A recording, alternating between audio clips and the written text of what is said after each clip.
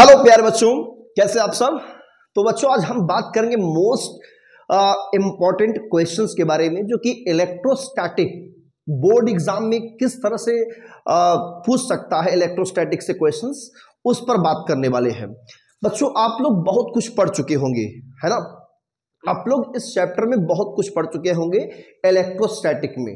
आप जैसा कि आप थंबनेल में आपने देखा, और थंबनेल में आपने देखा कि इलेक्ट्रोस्टैटिक से सिर्फ़ 16 मार्क्स के, कितनी? 16 मार्क्स के क्वेश्चंस पुटअप हो रहे हैं इलेक्ट्रोस्टैटिक से। मतलब आपको इलेक्ट्रोस्टैटिक ठीक है? इलेक्ट्रोस्टैटिक को बहुत ज़्यादा पढ़ना है और इससे सिर्फ़ 70 16 मार्क्स के क्वेश्चन पुटअप हो रहे हैं। तो बच्चों मैं बात करूँगा वो 16 मार्क्स कैसे आप कवर करोगे। मैं आपको यहाँ पे पढ़ाने नहीं आया हूँ कि कोई टॉपिक पढ़ाऊँगा, नहीं। मैं सिर्फ़ बताने आया हूँ कैसे आप कवर करोगे। बहुत इंपॉर्टेंट है बच्चों वीडियो को स्किप मत करना, अंत तक ज़रूर देखना इसको, ठीक है? तो कैसे आप 16 मार्क्स कवर करेंगे इस इलेक्ट्रोस्टैटिक से? वो टॉपिक कौन कौन से हैं? वो इंपॉर्टेंट क्वेश्चन कौन कौन से हैं? जिसको आप पढ़ लेंगे तो जो है, आप कवर कर लोगे, है ना? कौन कौन से वेरी इंपॉर्टेंट है। बस वही वही हमको पढ़ लेना है और फोकस कर लेना है उन्हीं टॉपिक पर। वैसे तो आप सभी टॉपिक पर क्या करेंगे? फोकस करेंगे। लेकिन जो ये टॉपिक बच्चों है, उन सब पर ज़्यादा ही कुछ फोकस करना है आपको।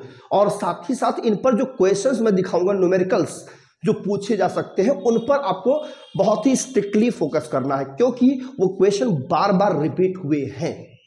प्रीवियस ईयर क्वेश्चंस में मतलब हम उठाए हुए क्वेश्चंस को लेकर के वो अभी तक जो है बार बार रिपीट करता हुआ क्वेश्चंस है है ना? तो जैसे इलेक्ट्रोस्टैटिक में दो पार्ट होते हैं। एक है electric electric charges charges and field का। एक चैप्टर आपका ये है और दूसरा पार्ट है electric potential electric potential and capacitance ठीक है? ये दो चैप्टर मिला करके एक पार्ट बना है, एक चैप्टर है एनसीईआरटी के हिसाब से, और एक चैप्टर आपका ये है। इन दोनों को मिला के हम लोग कहते हैं इलेक्ट्रोस्टैटिक। इलेक्ट्रोस्टैटिक का मतलब आप लोग जानते होंगे, charge at rest. Charge at rest. सब चार्ज एट रेस्ट की कहानी है, उसी को स्टडी करते हैं, उसी को हम लोग इलेक्ट्रोस्टैटिक कहते हैं। ठीक है? सब लोग, आप लोग पढ़ चुके हो। बट हमें जानना है कि वो कौन कौन से क्वेश्चंस हैं। जिन्हें पढ़ लेने से हमारे 16 मार्क्स बोर्ड एग्ज़ाम में कवर हो जाएँगे। वेरी इंपॉर्टेंट बच्चों हैं। एकदम मज़ा आ जाएगा। पढ़ लोगे ना आप लोग तो कहोगे हाँ कि सर वो हमने जो हमको आइडिया आपने दिया, वो बहुत ही लाजवाब आइडिया था। ठीक है? तो जैसे इस चैप्टर की अगर मैं बात करूँ तो इस चैप्टर में आपको पढ़ना है, सबसे इंपॉर्टेंट है कूलम्स का लॉ। किसका लॉ? कूलम्स का लॉ। इसे आप थ्योरी पढ़ेंगे, साथ में इसके जो भी वैल्यूज़ हैं जो भी फार्मूला है सब याद रखेंगे और इस पर बेस्ड न्यूमेरिकल सॉल्व करेंगे। कन्फर्म है। न्यूमेरिकल्स अगर न्यूमेरिकल्स कर लेंगे थ्योरी पढ़ लेंगे तो डेफिनेटली इससे क्वेश्चन आपको देखने को ज़रूर मिलेगा। दूसरा है आपका इलेक्ट्रिक फ़ील्ड इलेक्ट्रिक फ़ील्ड जो आप निकालेंगे बेटा इलेक्ट्रिक फ़ील्ड वो due to due to single point charge अकेला चार्ज है, या आप कैलकुलेट करेंगे ड्यू टू डाईपोल डाईपोल का मतलब जिसमें दो चार्ज हो, है ना? दो चार्ज का एक सिस्टम हो। उसमें एक्सियल लाइन और इक्वाटोरियल लाइन वेरी इंपॉर्टेंट है इलेक्ट्रिक फ़ील्ड कैलकुलेट करने के लिए, ठीक है? Due to single point charge कारण। अगर ये आप पढ़ लेंगे, दो हेडिंग इस ये और तीसरी हेडिंग आपकी है इलेक्ट्रिक फ़ील्ड लाइंस कौन है? फ़ील्ड लाइंस इसकी प्रॉपर्टीज़ के बारे में पढ़ लेंगे, इसके रिलेटेड जो क्वेश्चन है वो कर लेंगे तो भी आपके और नंबर अच्छे पक्के हो जाएँगे। और चौथा है टॉर्क कौन सा है? टॉर्क ऑन डाइपोल इसका डेरिवेशन प्लस इस पर बेस्ड न्यूमेरिकल आप सॉल्व करेंगे। डाइपोल मोमेंट क्या होता है? इतनी चीज़ अगर आप पढ़ लेते हैं। साथ में गॉस थ्योरम को पढ़ना ना भूले। किसको ना भूले? Gauss theorem.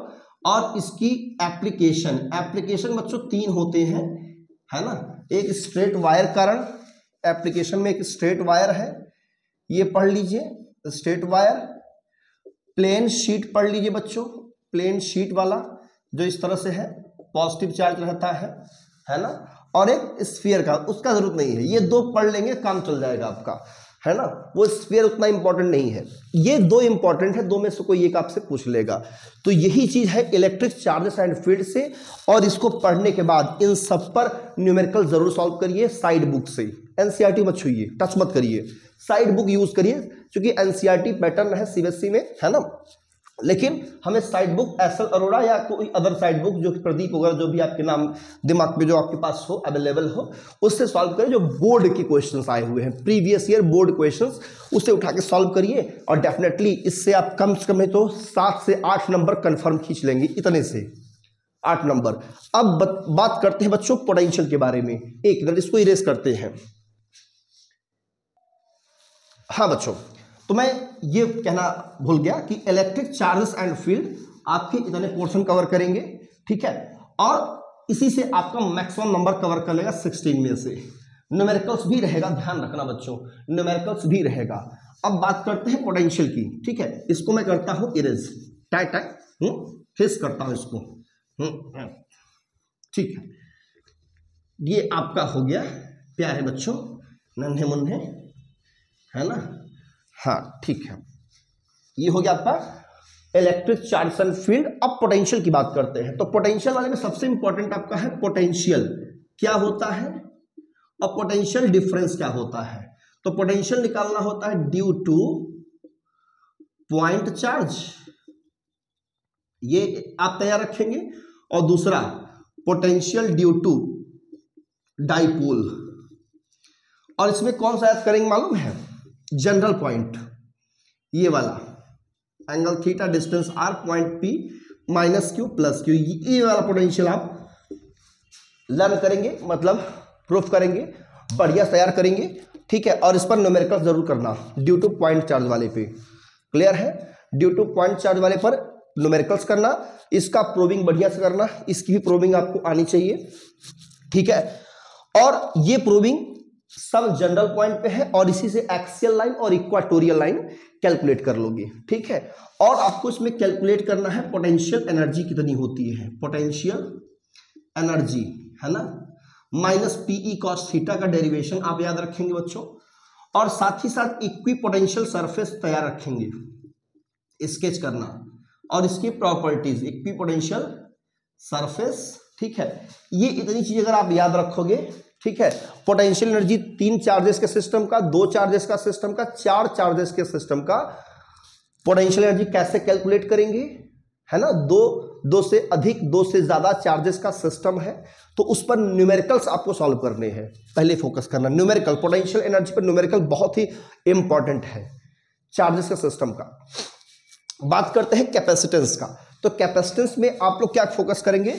ये वाले क्वेश्चन जैसे कि ये है ना ये कैपेसिटेंस लगे हुए हैं। हमने ऐसे वायर कनेक्शन प्रॉब्लम इस टाइप वाले क्वेश्चन इस टाइप वाले क्वेश्चन आप सॉल्व कर लेंगे। इसे मान लो सी सी सी कैपेसिटेंस है तो इसका इक्विवेलेंट कितना होगा? ए और बी के बीच, है ना? कभी कभी इस तरह से भी दे देगा, है ना? यहाँ कैपेसिटर लगा हुआ, यहाँ भी लगा हुआ है यहाँ पे लगा हुआ है। एक कैपेसिटर ऐसे लगा दिया, यहाँ पे एक कैपेसिटर ऐसे लगा दिया, यहाँ पे। तो ए और बी इसके बीच कैपेसिटेंस कैसे मतलब निकालेंगे? इक्विवेलेंट सी सी मान लो है, या five microfarad five microfarad five microfarad दिया, इस तरह से दिया है। तो आप इस कंडीशन में कैसे कैलकुलेट करेंगे? तो इस टाइप वाले और इस टाइप वाले क्वेश्चन तो याद रखना, ये तीनों किसमें है? पैरेलल में है। और ये सब जो दिखाई पड़ रहा है ना, ये व्हीट स्टोन ब्रिज पर सॉल्व होगा। एप्लीकेशन है उसका।